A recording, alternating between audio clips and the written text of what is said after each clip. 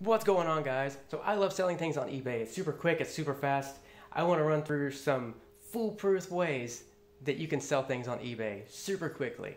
So, step one go on eBay, find a similar item or the exact same item that you want to sell on eBay, scroll down, click sell item like this, take pictures, post the item super fast. But then the trick is put it on a shelf where it's impossible to get to, like, say, behind a car that you're working on. Nah, nah, nah. Oh, I'm bad. Okay, bad zoom.